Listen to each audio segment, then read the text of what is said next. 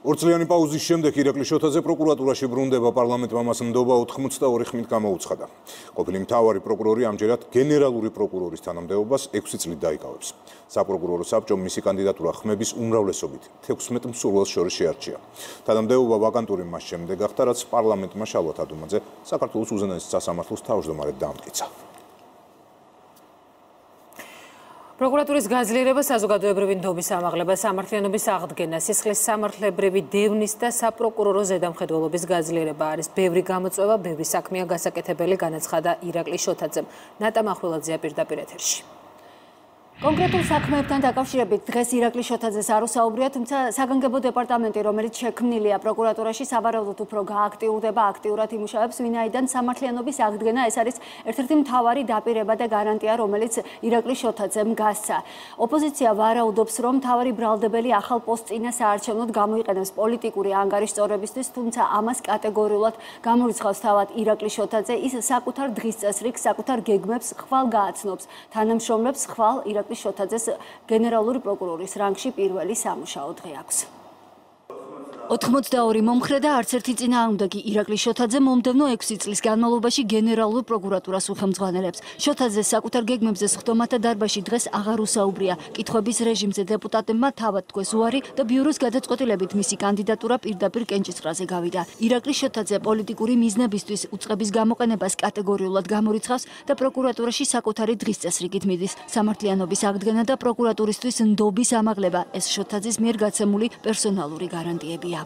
პროკურატურის გაძლიერება, ეფექტიანობის გაზრდა, სამართლიანობის აღდგენა, კვალიფიკაციის ამაღლება და საზოგადოებრივი ნდობის ამაღლება. ძალიან ბევრი გამოწვევა არის, რა თქმა უნდა, დღესდღეობით პროკურატურის მიმართ და ამ გამოწვევების გასამკვლელებლად საკმაოდ ინტენსიური სამუშაო არის საჭირო. რაც შეეხება ოპოზიციის ბოიკოტის რეჟიმს, მე ნამდვილად ვერ შევალ, ვერ ვერ გავაკეთებ, ვერ შეფასებას ვერ გავაკეთებ პოლიტიკური პარტიების გადაწყვეტილებაზე, ეს მათი საქმე არის. შოთაძის კანდიდატურის დამტკიცებას ოპოზიციამ ბოიკოტი გამოუცხადა. დღევანდელ პლენარულ სხდომას უმრავლესობის გარდა არც ერთი სხვა ფრაქცია არ დასწრებია. სხდომას არ ესწრებოდა არც დამოუკიდებელი დეპუტატების ნაწილი. რეგისტრაცია გაიარეს, თუმცა კენჭისყრაში მონაწილეობა არ მიიღო 7-მა დეპუტატმა. თავი შეიკავეს იმ დეპუტატებმა, რომლებმაც ქართული ოცნება საარჩევნო სისტემის ცვლილებაზე კანონპროექტის ჩაგდების შემდეგ დატოვეს. ადამიანის ნაბიჯი რომ ერთხელ დაშვებული შეცდომის გამო გადადგა და ეხა ბრუნდება თითქოს არც არაფერი არ მოხდა არ მგონია სწორედ არ მგონია რომ ეს მომსახურება პროკურატურის ინტერესებს და მისი რეპუტაციის გაძლიერებას არ მგონია რომ მართველი გუნდის ეს თქვა რეპუტაციას და მის დემოკრატიულობას გააძლიერებს მის დემოკრატიულ იმის გააძლიერებს ეს გადაწყვეტილება და არ მგონია რომ საზოგადოების ნდობა პროკურატურის მიმართ ამ კუთხით ამ ნაბიჯით გაძლიერდება და გამოსწორდება. ამიტომ ყველა მიმართულებით გონია მცდარია ესე თქვა ნდობის მანდატი იმდენად ცირია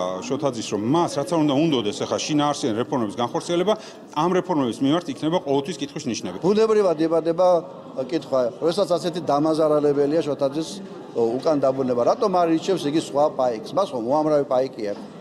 მაგრამ მას არ ჭირდება მხოლოდ პაიკი, ეს უნდა იყოს უკვე განწირული პაიკი, უკვე მკვდარი პაიკი, მას ჭირდება ყველაფრის შემსულებელი, ყველაფრის მკადრებელი.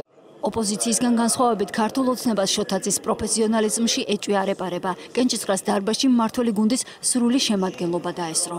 ვერც ვერავინ, ვერც პროკურორი, ეს გენერალური და მეც სხვა ვერავინ ვერ გაბედავს, რომ მიიღოს გადაწყვეტილება მიკერძოებულად. მე არ მახსოვს გახმაურებული საქმეები, რომელიც არსებობდა, რომ უყურადღებოთ იყოს დარჩენილი. მე ესე მგონია, რომ ყველა თემას თუნდაც კრიტიკული შეკითხვები რომელიც დაისვას უახლო უახლოეს პერიოდში უნდა გაეცეს პასუხი. პოლიტიკური ოპონენტების დევნის იარაღი შესაძლებელია იყოსო. ჩვენ გვახსოვს ეგეთი გენერალური პროკურორი რომელიც პრეზიდენტის მითითებით წყვეტდა ვისრა ბედიელოდა ხვალ. ეგ იყო, ეგ გავიარეთ ეგ პერიოდი და დღეს როგორც ხედავთ ამ თემასთან დაკავშირებით ყველაზე მეც ის ლაპარაკობს, ვინ ჩაიდინა. სამართლიანობის აღდგენის თემას ერთ-ერთი რაც უკავშირდება ეს არის, რომ არიან ადამიანები, რომლებსაც უკანონო წართული აქვთ ქონება და ვერ ახერხებენ ამდენი ხნის განმავლობაში ამ ქონების უკან დაბრუნებას.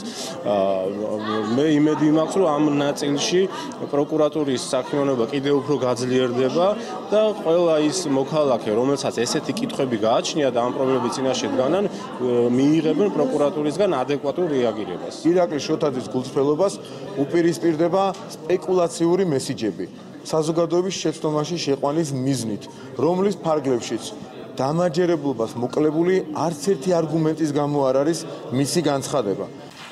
ირაკლი შოთაძე ქვეყნის მთავარი პროკურორის პოსტს 2015-დან 2018 წლამდე იკავებდა. ის გამონაკლისია იმ თანამდებობის პირებს შორის, რომელიც საზოგადოების მოთხოვნას დაემორჩილა და პროკურატურიდან სახლში საკუთარი ნებით წავიდა. გადაწყვეტილება კი მას შემდეგ მიიღო, რაც სასამართლოს მაშინდელი განაჩენის თანახმად ხორავას ქუჩაზე მომხდარი მკვლელობის საქმეზე განზრახ მკვლელობის ბრალდებით პროკურატურის მიერ წარდგენილი ორი ბრალდებულიდან დავით სალარიძის მკვლელობა არც ერთს არ დაუდასტურდა. შოთაძის სახელს არაერთი გახმაურებული საქმე უკავშირდება მათ შორისაა ციანიდი და ყოფილი მაღალჩინოსნებისთვის ბრალის წარდგენა. სწორედ მისი პროკურორობის დროს დადგა გამამტყუნებელი განაჩენი მიხეილ სააკაშვილის წინააღმდეგ საქმეებზე ვალერი გელაშვილი და სანდრო გირგლიანი.